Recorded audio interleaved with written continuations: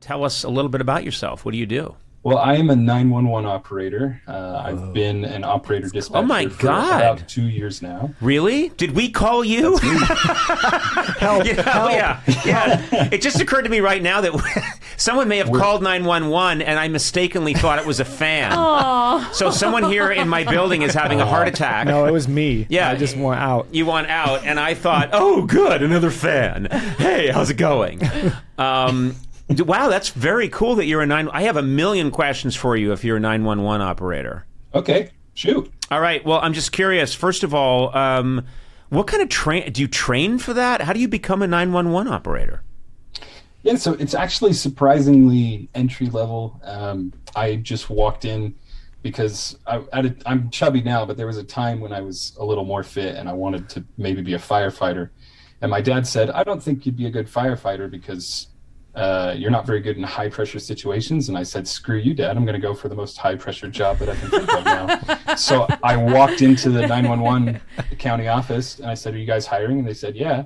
And uh, you just have to take this test before you come in to see if you're, you know, if you can handle it. And then there's three months of boot camp in that office and for to teach you basically everything you need to know. And if you pass all that, then you're good to go. They they train you a little more with shadowing a person, and then once you're cleared off on that, then you're on your own. This so is- I was probably in training for about four or five months. Wow. Uh, first of all, there's so, there's a lot to unpack here, as my wife would say. Your father, your father told you no, you're, you shouldn't be a fireman because you're not good in high pressure situations. Um, that's that's that's pretty rough. And isn't that kind of his fault? yeah. Well, that's two, it's two parts to Yeah, it. well, you should have trained me, Dad. Yeah. Yeah, uh, but also, I mean, uh, for you know, there's one way to look at it, which is maybe he was saying that because he wanted to protect you because he was worried, and then there's another way, which is more in the dick category, you know, where like your dad's not being, you know, it's like don't say that. Where do you think that falls? Oh my god. I don't know. I mean, he he was a volunteer fireman, so he he kind of knew a little bit about how it all works. It I sounds think to me like he couldn't hack full time. Yeah, yeah. Again, on him. Is it okay if I try just right now? If I called you, could you be a 911, your 911 self, and we could just run through it and see how it goes? Sure. Yeah. Okay, so boop boop boop. 911. What's the city and address of the emergency? Uh, I'm in Los Angeles, uh, California. What was the second part? What's the address of the emergency? One two three uh, Bigelow Road. Okay, for verification, I need you to repeat the address, please. One two three Bigelow Road, Los Angeles, California. Tell me what the problem is.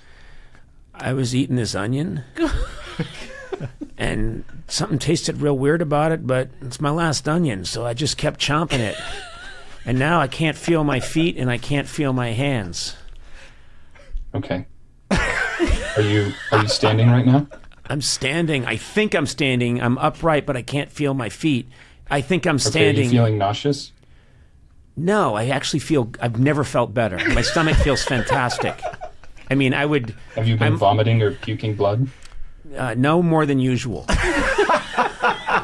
What's usual? I usually vomit in the morning, uh, twice in the afternoon, and then violently for about an hour at night. So have you vomited since you last ate this onion? No, no, the onion really calmed me down. The onion's been, by the way, mostly terrific. Uh, my stool, I just want to mention my stool is a white gel. And it has little colorful sparkles in it. Oh. Are you under the influence of any drugs or alcohol? Well, that's interesting. No drugs. I don't do drugs. But uh, I had six bottles of Pappy Van Winkle. Okay, is your door locked? Uh, yes, it's triple locked. It's it's locked every which way that a door can be locked, and I have a large bolt that I bought from an old French castle, and I slid that across. No one's getting through that fucking door. Okay, just so that my paramedics can get to you, I need you to unlock all. How many did you say? Six, It's it's like locks? yeah, six locks, but then that big bolt, and I got to get someone to help me. It's going to be half an hour to unlock this door. I'm very paranoid about villagers attacking me. Okay. Okay. By the you- way, the onion have the onion's terrific. Can I keep eating it? It's fantastic. If you believe that's what's making you sick, then I would not keep eating the onion now. Okay, you're man, you're a real voice of reason. This is terrific. Um, I'm working on the door right now. Let's see. Unlock, unlock, slide, bolt, Okay, if it's too strenuous for you, then I don't want you to do it. If no, making it's really not. It's not. worse. No, I'm not feeling bad. My arms are just very, very weak from uh, misuse and disuse.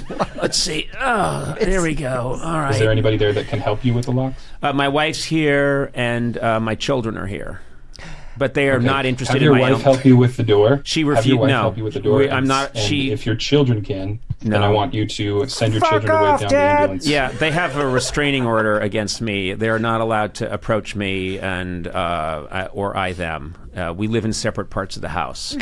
they say that I'm an odd person, um, and they don't want anything to do with me. But Did you my- tell them how you misuse your arms? Shut up! Shut up, Quigley. That's my son, Quigley. Go eat an onion. I did. That's the problem. It worked. All right, Jesus. Later. Okay, uh, man. Um, sorry for those radio show background people. Uh, the quality wasn't terrific, but you do what you can. Anyway, I'm starting to feel a lot better, um, and I think, yep, the onion. I just shit it out. It's a clear now. It's a now it's a clear gel. Um, I feel much better, and I think I'm okay. I don't think anyone needs to come. I think Okay, I'm I'm going to let my paramedics know that, but they're already on their way, so they may still come to check on you. Okay. Well, I do have a gun, and if they come in, I'm firing. That's my it's stand your gra- stand your ground. What I love to do is call 911 and then start firing away the minute someone comes through the door. It's not a good gun. It's an old. It's Okay. an 1810 revolver, and it keeps falling apart. But I'm just going to be blasting and a blasting if they come in the door. Okay, okay, Conan, for my paramedic safety and the officers that are now responding, their safety, I need you to put the gun away. Can you do that for me? How'd you know his name? That's right. I never said my name. You're some kind of creep.